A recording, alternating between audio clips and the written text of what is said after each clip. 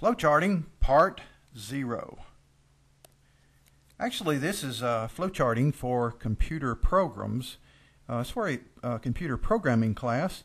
And what we're trying to talk about is um, how do you create a flowchart and what's kind of the purpose of the flowchart. And I want you to start with a, a, a blank screen here. And what I, I want you to think about is let's say you were going to um, draw the floor, plan for a house. You know, just the basic floor plan for a house. And let's say you were thinking about a the blueprint.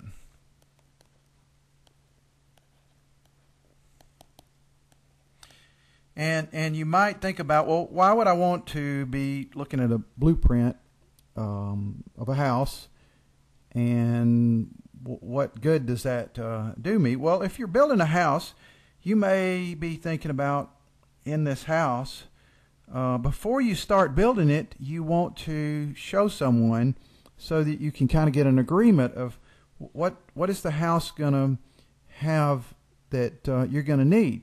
Now, one thing is to look at the outside of the house and, and see uh, the way the house looks from um, for someone looking from the outside, but you also want to think about the functionality of the house and what you can do with the house. And the blueprint helps you cover all of those kind of things. So if you're kind of thinking about that, now let me let me just mention. Let's say you also were thinking about uh, in that house, you might want to uh, tell someone, well, we're going to have a kitchen, and we're going to have a, a living room area, and we may have a couple of bedrooms, maybe a bathroom. And another bedroom, and maybe another bedroom, and maybe a hallway, kind of down in through here that would be the hallway, maybe, whatever. But somehow you're going to break, um, you're going to you're going to build a house, and before you actually want to build it, you want to tell someone, well, this is kind of what it's going to look like. Now, this is not very good drawing, but um, I, I, just want you to thinking about um, why would someone have um, a drawing of this. Well, you you before you build this house, you want to talk about it. You want to say, well, what's it this going to uh, look like, and how would you benefit from it? Well, if if you don't have a kitchen, then you don't have a place to cook and so forth.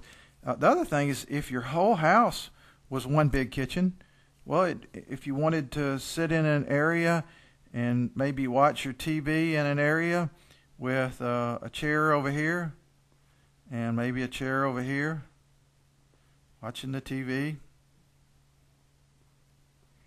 Um, you would um, be mixed up with what's going on with, with the kitchen over here if you were trying to cook on the stove. So you want to you want to kind of get a picture in somebody's mind of what is it that we're trying to do. Well, Again, we're talking about uh, programming, and with programming, we use flowcharting to help us design and tell what we're going to do with the program. Well, let's let's move forward with that. Uh, with programming, what we've got is some we've got some symbols to help us identify what we're going to try to do with a computer program. And uh, with some of these symbols, you want to think about them a little bit more. What what's the symbol for, and how do we use it? Well, with flowcharting part part zero, what I want to do is I want to talk about just the symbols, just a, just enough to get you started, so that when I do the next little clip, you can um, use those symbols and actually maybe see how they can work in in identifying um, the the demonstration of how how to work with the program. So with the symbols, let's let's talk about a couple of them. First one's the oval, and uh, the oval symbol is the symbol to tell you where a program starts. So if you're looking at uh, an oval in a, in a program, you're going to say, all right, well, the program starts here.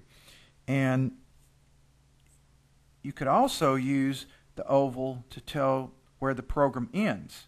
So somewhere in the program, you may have another oval, something like that, that says end. And usually there's going to be some other symbols that kind of directionally tell you which way the program go, goes in a flowchart. And, and you want to get used to that as well. So with these things in mind, let's, let's talk about a couple more symbols. Um, there's a rectangle. And the rectangle is to, identify processes that go on in a computer program. And when you're working in compute in the computing area, you can have lots of processes going on. So you need to know well what's a symbol that you can talk about uh, process. And what's a process? Well, a process might be a calculation, might be an action that needs to occur, uh, but process is more about um, actually getting something to, to happen. It might be a formula. So if you wanted to say um, C is a variable and you want to say C is equal to A plus B, then uh, you might put that in a process symbol, and that would help identify well some action is going to go on in that uh, in that particular part of the program, and and you're going to help identify that by giving using the rectangle to say, all right, well this is the process. We've got a diamond symbol, and the diamond symbol is to help you identify that the the program has to go in another direction. It may go this way, or it may go that way, and you may have something happen over here, or have something over here, or you, you may want to go around something, and um, the diamond helps you deal with that, and it usually relates to something uh, to do with what we would call an if statement. And the if statement says, well, if this is true, go over here and do this. And if it's not true, that must means, mean it's false. So you're going to go over here and do something else. And the if helps us divide that up. So the diamond is uh, what we use for the decision. Uh, we also call it a selection. But it's to help us uh, determine if we want to go around something or only do something in certain occasions. So the, the diamond is one of our symbols that we're going to be using. Let's talk about the um, parallelogram. Uh, it's kind of like a rectangle sideways, and um, the parallelogram is used for input, or it could be used for output. And the purpose of the parallelogram or the input output symbol is to say, well, we got some data that's going to come in, could come from the keyboard, could come from uh, a data entry file, but you use the input symbol to identify that we're going to have some, at this particular part of the program, we're going to have some input coming in. Or we could have some output. It could even be output going to a printer. It Could be going to your monitor, your display. We've got keyboards that can input. Got quite a few things that we can do with an input symbol. This is one of my favorites. This is called um, the symbol to identify that we're going to have a module. In other words, we're going to take a complex task, something more complex than just a couple of symbols, and we're going to break it down and we're going to say, go over to this particular part of the program and do a, a complete task. And modules are used to break down a complicated program, and, and it doesn't take long in computer programming to have a complicated task going on. The symbol can also be drawn. It's, it's like the um, process symbol, kind of, because it's a rectangle. And sometimes we draw this symbol rather than the line.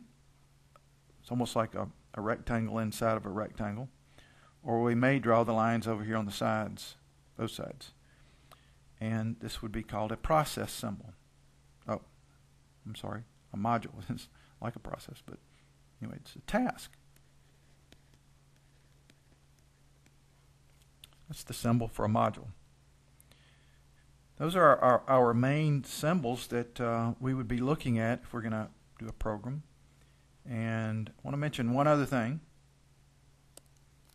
the flow lines. Now, the flow lines help identify where is the um, where's the program going? In other words, the direction. And if you're looking at, you know, I talked about the blueprint a minute ago.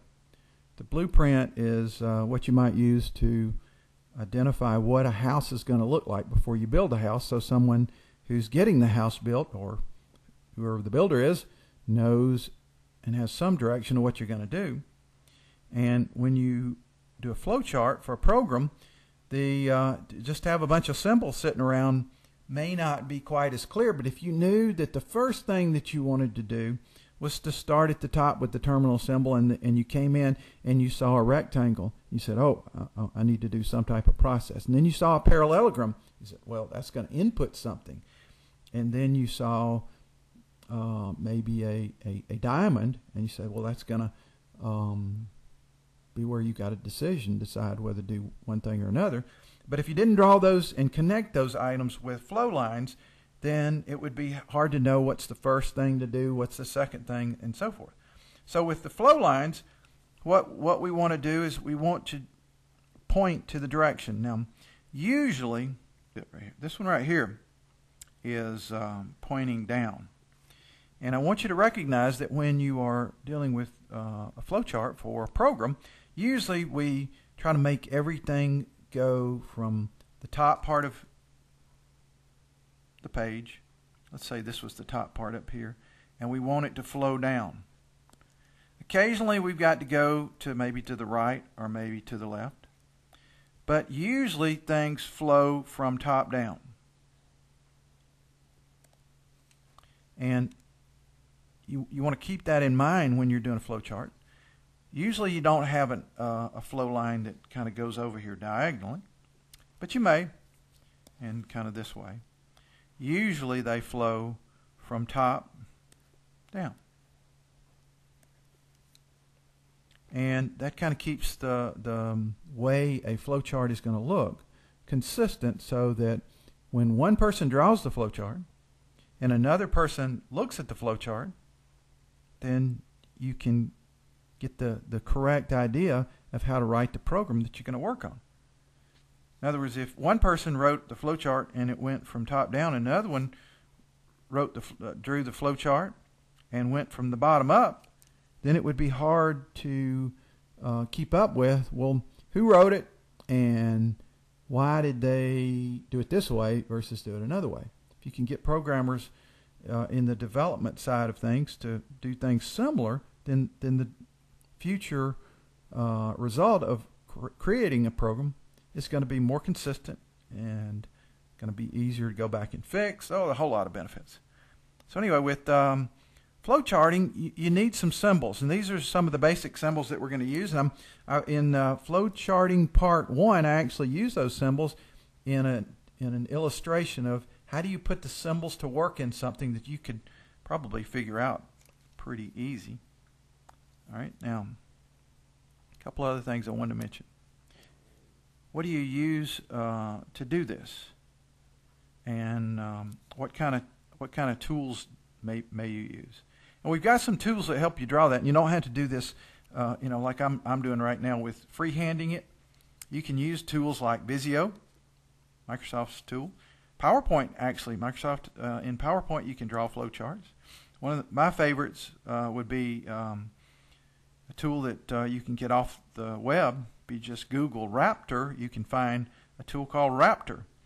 Raptor not only lets you draw the flowchart, but it also puts it in almost a running program. Or it, it, probably could consider it a running program. Really like Raptor. If you did your your flowchart in Raptor and saw it work, you know right off the bat, you know you've got it, you understand it. Uh, there are other tools out there you may want to experiment with those, but uh, these are three that I like, and um, I'll probably use these in my class and uh, demonstrate some of the program development that I'll be showing you with that. Well, that's kind of it for flowcharting part zero, and I would encourage you to go on to flowcharting part one and see a an illustration.